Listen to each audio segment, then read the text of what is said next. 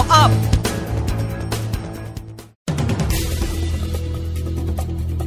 16นาฬิกา3นาที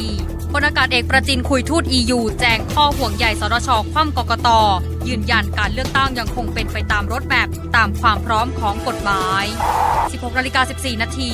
ผู้บัญชาการทหารบกร่วมงานวันก่อตั้งหน่วยบัญชาการสงครามพิเศษ ขอทุกคนรักษาคุณความดี เตรียมความพร้อมปฏิบัติภารกิจตลอดเวลา 16นาฬิกา28 นาที ระทรวงพาณิชย์เผยยอดใช้สิทธิ์ FTA ปี 60 ทะลุ 60,000 ล้านเหรียญสหรัฐ โตกว่าร้อยละ 15 หนุนใช้สิทธิ์ให้มากขึ้น เพิ่มการค้าภาพรวม 16นาฬิกา39 นาที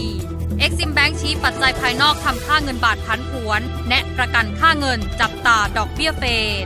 ล่าสุด 16นาฬิกา52 นาทีกองปราบจับขบวนการค้าใบกระท่อมชายแดนไทยมาเลเซียรวบ 2 ผู้ต้องหาชายหญิง เสนอเงินเกือบ 2 0 0แสนติดสินบนให้ปล่อยตัว